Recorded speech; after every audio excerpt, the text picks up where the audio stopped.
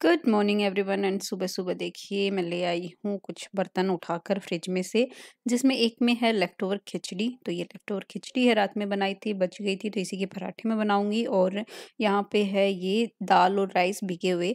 तो एक्चुअली ये ना रात में मैंने भिगोए थे अ, 2-3 घंटे भीग चुके थे, उसके बाद मुझे लगा कि दाल में क्या पता स्मेल आ जाए गर्मी की वजह से, इसलिए मैंने फ्रिज में रख दी थी। अब बाहर निकाल दी है, 10-11 बजे इसको मैं पीस लूँगी। तो यहाँ पे देखो मैंने आटा जो है वो छान लिया। अभी बच्चों के लिए मैं पराठे नहीं बनाने वाली हूँ, बच्चों के लिए मैं बनाऊँगी इसकी पूरियाँ। तो जो खिचड़ी है वो मैंने मिला ली है आटे में और इसके साथ ही कुछ मसाले मैं मिलाने वाली हूँ। सुबह-सुबह इतना काम हो जाता है ना कि पता ही नहीं चलता है क्या करें, क्या नहीं करें, समझ में नहीं आता। रात से ही टेंशन हो जाती है कि बच्चों के टिफ़िन में क्या दें, रोज़-रोज़ नया उनको क्या दें कि वो आराम से खा भी लें और हमें भी ज़्यादा मेहनत ना करनी पड़े। तो यही जद्दोजहद चलती रहती है हर हाउस वाइफ की। तो देखो थोड़ी-सी अजवाइन मैंने इसमें डाल दी ताकि बच्चों का जो पेट है वो ख़राब ना हो। इसके लिए और बस सारे मसाले इस तरीके से हम इसमें मिक्स कर देंगे और फिर आटा इसका बना लेंगे। तो थोड़ा-सा इसका आटा जो है उसमें क्योंकि खिचड़ी जो है, आटा बनने के बाद ना काफ़ी पानी छोड़ती है। तो जब भी आप कभी खिचड़ी का आटा लगा रहे हो तो उसको थोड़ा टाइट-टाइट ही रखना, क्योंकि फिर बाद में वो अपने आप ही थोड़ा ढीला होता जाता है। तो बस सूखा आटा हम ले लेंगे साइड में और फिर बनाएँगे इसकी छोटी-छोटी पूरियाँ। तो यहाँ पे देखो मैं एक्चुअली पराठे बनाना वैसे ज़्यादा ईज़ी रहता है पूरियों से। पूरी बनाने में ना कभी फूलती हैं, कभी नहीं फूलती क्योंकि इसमें जो राइस है, दाल है वो साबुत ही रहते हैं ना इसलिए। अगर अगर आप सच में वैसे ही मतलब सब सबके लिए ही पूरियाँ बनाना चाह रहे हो और प्रॉपर पूरियाँ बनाना चाह रहे हो ना, तो आप क्या करो हल्का-सा जो खिचड़ी है उसको मिक्सी में डाल के पीस लो और फिर उसमें आटा बनाओ तो उससे ना आपकी जो पूरियाँ हैं वो बहुत ही अच्छी बनेंगी और फिर उसको फ्राई करो तो काफ़ी अच्छी वो निकल कर आती हैं। बट अभी मेरे पास इतना टाइम था नहीं कि मैं उसको पीसने भी बैठूँ, तो मैंने तो डायरेक्ट ही बना दिया क्योंकि सिर्फ़ बच्चों के लिए मैं पूरियाँ बनाने वाली हूँ, बाकी सबके लिए तो पराठे ही यहाँ पर बनेंगे। तो इसलिए सिर्फ़ उतना ही मैंने अ, बनाया है तो इसलिए मैंने ज़्यादा मेहनत की नहीं है। तो देखो कढ़ाई जो है, वो भी मैंने छोटी-सी जो बच्चों वाली कढ़ाई है ना, जिसमें रोज़ उनके लिए सब्ज़ी बनती है, बस उसी में मैंने थोड़ा-सा तेल डाला और उसी में मैं उनके लिए पूरियाँ बना रही हूँ और बच्चों को इतनी पसंद आई ना अर्नव तो बोल रहा था, मम्मा, कल भी यही देना। मैं मैंने बोला उसको कि, मैं क्या रोज़-रोज़ तेरे लिए खिचड़ी बना के बैठूँ क्या, कि कल भी यही दूँ? तो वो बोल रहा था, नहीं मम्मा, आप तो यही देना मुझे। ठीक है, देखेंगे। और इस तरीके से उसको थोड़ा-सा ऐसे उल्लू बना दिया मैंने। और बस देखिए बातों-बातों में पूरियाँ जो हैं वो बन गई, कुछ फूली, कुछ नहीं फूली बट बच्चों को काफ़ी टेस्टी लगी। तो थोड़ा-सा यहाँ पे साल्सा केचअप दिया और ये देखो ये दोनों भी आ गई हैं दूध पीने। सुबह-सुबह बस इनको पता चलना चाहिए कि गेट खुल गया है और भाग कर आ जाती हैं और फिर बस देखो दोनों की लड़ाइयाँ देखो यहाँ पे शुरू हो गई हैं। दोनों बहुत ज़्यादा बदमाशी करती हैं और आजकल तो कुछ ज़्यादा ही बदमाश हो रखी हैं, बहुत ही ज़्यादा बदमाश हो रखी हैं। तो अभी बस सारे जो नीचे के काम हैं मेरे वो मैं ख़त्म करके आई और नहाने की यहाँ पे तैयारी करने लग गई। अलमारी में देखा समझ में नहीं आ रहा था क्या पहनूँ? रोज़ यही टेंशन हो जाती है ना क्या पहने, क्या नहीं पहने? फिर जैसे-तैसे ये ड्रेस मैंने निकाली और फिर जल्दी से फटाफट से फिर नहा कर आई और चलिए फटाफट से अब रेडी होते हैं।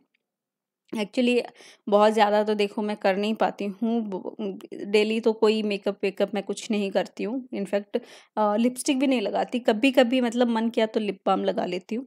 कभी मैंने लिपस्टिक भी घर पे लगाती नहीं हूँ इतना, क्योंकि लिपस्टिक लगाने के बाद ना मुझे किचन में काम नहीं होता। फिर तो ऐसे हो जाता है कि भाई मैं तो आज रेडी हूँ, आज मुझसे काम नहीं होने वाला है। तो इसलिए थोड़ा ऐसे लिप बाम कभी लगा लिया, कभी नहीं लगाया। गर्मियों के मौसम में तो वैसे भी मुझसे नहीं होता है क्योंकि फिर मेरे चेहरे पे क्योंकि मेरा चेहरा इतना ज़्यादा ऑयली है ना, तो पूरा ऐसे ऑयल-ऑयल सा आ जाता है। तो इस वज़ह से कभी नहीं लगाती। तो अभी फटाफट से चलिए चोटी बना लेते हैं आज। काफ़ी दिनों बाद जैसे चोटी बनाने का मन कर रहा था, तो सोचा कि आपके साथ-साथ रेडी तो हो ही रही हूँ, तो चोटी भी बना लेते हैं। तो थोड़ा वीडियो में भी आ जाएगा भी किस तरीके से मैं रेडी होती हूँ। हालाँकि इतना ज़्यादा मैं रेडी होती नहीं हूँ, देखो कि ये कभी-कभी होता है ये चोटी। तो आप अगर मेरे ब्लॉग्स देखते हो ना तो आपने देखा ही होगा मैं इससे जूड़ा बाँध के रखती हूँ। तो आज तो प्रॉपर भैया एकदम एकदम तैयार होकर कहाँ जाना है पता नहीं। बट ये कुर्ता मैंने डाला ना, थोड़ा ऐसे मतलब एक ही बार दो बार दो बार ही डाला है। मतलब एक बार उस दिन हम लोग बाहर गए थे, आपने मेरे शॉर्ट वीडियो देखे होंगे तो उसमें था और एक बार अब पहना है। तो अनवी जैसे ही स्कूल से आई तो उसने पूछा, मम्मा कहाँ गए थे आप? क्यों नया कुर्ता पहना है? और यहाँ पे देखो, पापा जी भी बिल्लियों के साथ मज़े ले रहे हैं और इन दोनों को इसके नीचे डाल दिया उन्होंने। तो कैसे छूट कर भागी है?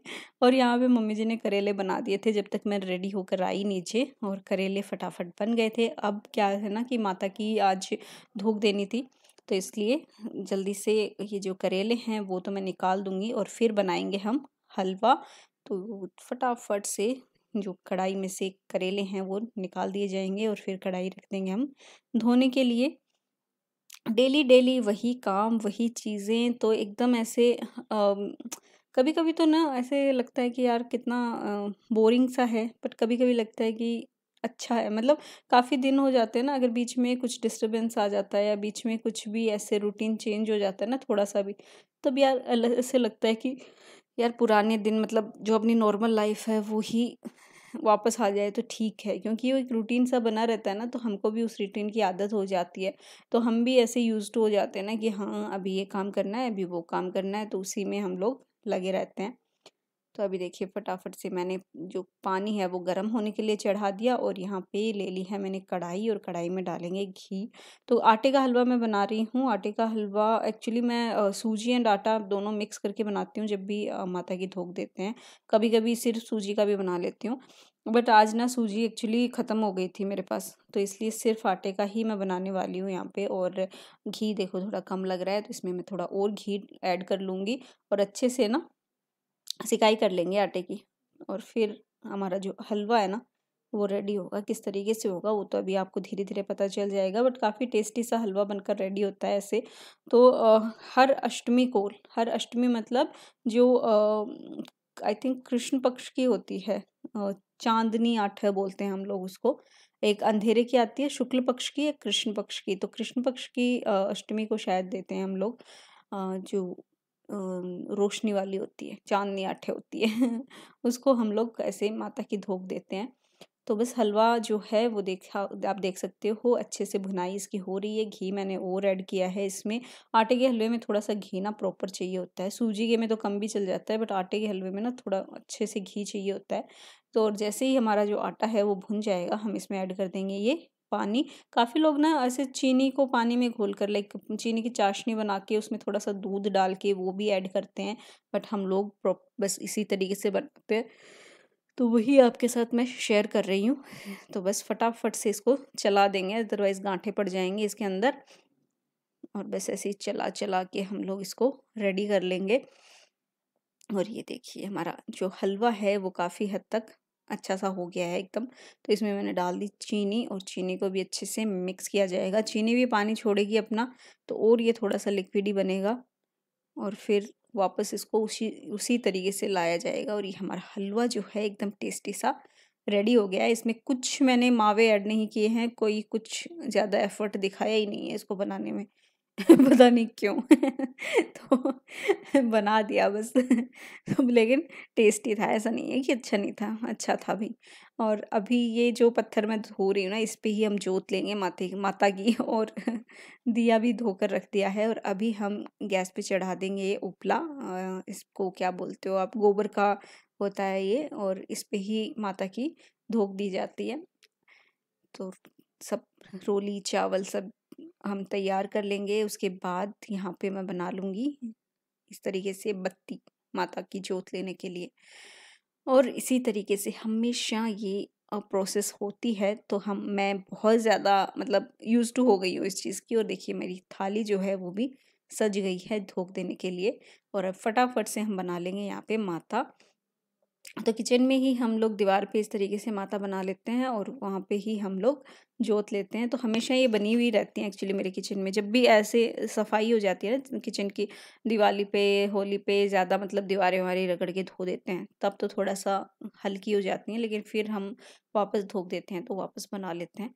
और फिर यहाँ इनके आगे ही ये पत्थर जो मैंने धोया था ना, बस वो रख के, उस पर दिया और उसके बाद ये उपला रख के और जोत ली जाती है और हमेशा बस यही प्रोसेस है। तो आपने काफ़ी बार मेरे ब्लॉग्स में देखा होगा काफ़ी बार मैं आपके साथ शेयर कर चुकी हूँ ये सारी चीज़ें बट फिर से मुझे लगा कि चलो काफ़ी दिन हो गए हैं आप लोगों के साथ मैंने शेयर नहीं किया था तो इस बार फिर शेयर किया और उसके बाद सबने खाना खाया और यहाँ पे मैं बर्तन धोने लग गई थी और मेरा ये जो नया तब लिया है ना, क्या बोलते हैं इसको डिश वॉश ड्रेनर, यस। तो इससे मैं बड़ी खुश हूँ एक्चुअली काफ़ी मेरे लिए ना एक इजी चीज़ हो गई है। इतने सारे बर्तन इसमें आ जाते हैं और एक जगह टिके रहते हैं। मतलब इधर उधर फैल फैलाने नहीं पड़ते हैं और शाम तक भी इसमें पड़े रहे ना तो भी इतना फैली हुई नहीं रख, लगती है किचन और फिर इसको मैं निकाल के यहाँ से ही मैं और वापस अपनी अपनी जगह पे रख देती हूँ तो बर्तन भी पूरे सूखे हुए मिलते हैं। ऐसे नहीं है कि गीले बर्तन रहते हैं। तो ये मुझे काफ़ी सही लगा, पानी भी बिल्कुल मेरा पहले पूरा प्लेटफॉर्म से ना नीचे पूरा गैस की तरफ़ जाता था बट अब ना पूरा इस नीचे सिंक में आ जाता है तो वो एक मेरे लिए बहुत ही ज़्यादा खुशी की बात है कि मुझे फाइनली ये मिल गया और मैं काफ़ी खुश थी, खुश हूँ इस चीज़ से। और ये देखो हमारा जो दाल चावल है वो भी कुछ इस तरीके से हो गया है, अच्छे से भीग चुका है तो इसका जो पानी है वो हम निकाल देंगे और फिर इनको पीसेंगे। तो ये लीजिए पानी, इसका पूरा मैंने निकाल दिया, पहले का जो भी भीगा हुआ था और बाकी जैसे जैसे ज़रूरत लगेगी ना तो फ्रेश पानी में डालकर फिर इसको पीसूँगी। तो बीच में ही देखो, जैसे ही मैं गई थी टेबल की तरफ़ दाल पीसने के लिए तो यहाँ पे मुझे सब्ज़ियाँ दिख गई तो मैंने सोचा कि पहले सब्ज़ियाँ धोकर रख देती हूँ, भिंडी और खीरा था। तो दोनों को ही वॉश करके मैं न्यूज़पेपर पे सुखा दूँगी ना तो ये सूख जाएँगे आराम से अच्छे से तो मैं फिर इनको फ्रिज में रख सकती हूँ। तो इस तरीके से ना धोकर रखने से एक तो भिंडी कभी भी बनाओ, फिर ज़्यादा टाइम नहीं लगता है, अदरवाइज़ तो फिर हाथों हाथ धोकर बनती नहीं है भिंडी तो। और फिर मैं टेबल पे ले आई थी अपना चा, चावल और दाल और इनको मैं पीस लूँगी और फर्मेंट होने के लिए छोड़ दूँगी शाम तक। और ये अच्छे से फर्मेंट हो गया था, शाम को तो बहुत ज़्यादा फर्मेंट हो गया था तो फिर मैंने इसको फ्रिज में रखा क्योंकि मैं बच्चों के लिए सुबह में बनाने वाली थी डोसा। रात का मैंने पहले तो रात का सोचा था बट बैटर जो था, वो कम ही था मेरे पास, लेकिन फिर मैं मुझे लगा कि यार बच्चों के टिफ़िन के लिए मुझे ज़्यादा चीज़ें चाहिए होती हैं कि बनाने के लिए कि क्या बनाऊँ क्या बनाऊँ। तो उस चक्कर में फिर मैंने सुबह के लिए इसको फ्रिज में रख दिया और बहुत ही टेस्टी से डोसे मैंने बनाए। और ये देखो, बहुत ही ज़्यादा ये अच्छे से पिस गया है। है ना, एकदम अच्छी कंसिस्टेंसी में। तो यहाँ पे देखो मेरा खाना आ गया है, यहाँ ये है करेले की सब्ज़ी और मिर्ची हैं और साथ में ही चटनी है और जो खिचड़ी के पराठे मैंने बनाए थे वो हैं। तो ये लीजिए, अभी लंच कर लिया जाए। तो लंच में बहुत ही टेस्टी से खिचड़ी के पराठे मुझे लगे और काफ़ी इन्जॉय किया मैंने इनको। अब चलते हैं कपड़े सुखाने के लिए। तो आप देख सकते हो वाइट वाइट ड्रेस बच्चों की धोई थी तो उनको भी सुखाना बहुत ज़रूरी था अदरवाइज़ कलर लग जाता है दूसरे कपड़ों के। तो मैं क्या करती हूँ, बाकी सारे कपड़े तो बाल्टी में डाल देती हूँ और जो वाइट वाले होते हैं ना, वो नल पे टांग देती हूँ ताकि अलग रहें तो कलर ना लगे। अदरवाइज़ मैं तो इतनी ज़्यादा बुरी हूँ ना सच में कपड़े धोने में, मैं तो ज़्यादा, बहुत ही मतलब इतने white shirt white T shirt मैंने बच्चों की बिगाड़ी हैं कलर लगा लगा के बट ये स्कूल यूनिफॉर्म पता नहीं मैं क्यों बचा के रख पाती हूँ, वरना घर वाले तो मेरे से ऐसे ही हो जाते हैं। तो इसलिए थोड़ा सा मैं केयरफुल रहती हूँ क्योंकि मैं खुद को अपने आप को जानती हूँ कि मैं बहुत ज़्यादा बुरी हूँ इन सब चीज़ों में, और सारा काम ख़त्म करके यहाँ पे मैं आ गई थी फिर अपनी एडिटिंग के लिए, और देखो आलस आ रहा है, नींद आ रही है बट काम तो काम है, करना पड़ता है। वैसे भी बच्चे स्कूल से आएँगे, तब तक थोड़ा काम मुझे कर लेना है अपना। वैसे भी मैं लेट हो चुकी हूँ। तो बस फिर काम किया और बच्चे आए, उनको खाना वाना खिलाया और सारे काम ख़त्म किए इस तरीके से। यही चला हमारा पूरा दिन और इसी में लगे रहे। तो देखो अर्नब को मैं यहाँ पे पढ़ा रही हूँ, उसको पता नहीं था मैं शूट कर रही हूँ।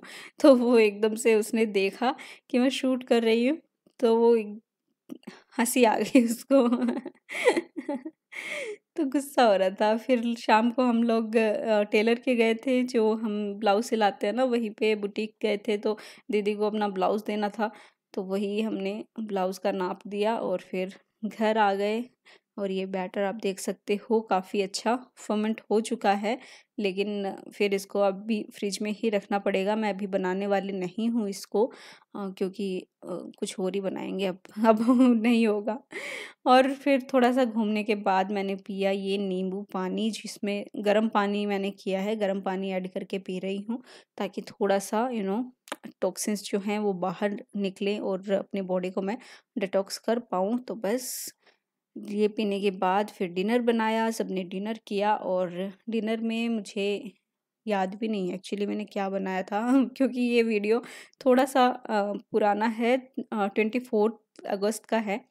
तो फिर रात में पढ़ी मैंने अपनी बुक और फिर सो गई। आई होप आपको मेरा ये डे विथ मी पसंद आया हो, अगर आया हो तो प्लीज़ मेरे वीडियो को लाइक करना, शेयर करना एंड मेरे चैनल को ज़रूर ज़रूर से सब्सक्राइब करना, ताकि ऐसे ही वीडियोज़ आपको मिलती रहें। Bye bye.